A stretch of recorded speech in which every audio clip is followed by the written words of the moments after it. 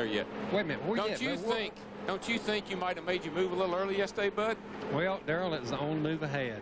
You know, it's sort of like when you see it, you got to do it, and and that's all I had. And uh, it may have been a little too soon, and I, I know it was too soon. Matter of fact, and I knew it was wrong when I was doing it, but uh, it was the only opportunity I had, so I had to I had to go for it, man. And the helmet, All right, the so helmet about the deal, helmet? the helmet deal. You shouldn't be talking about the helmet deal. It's the safest helmet in Winston Cup racing today.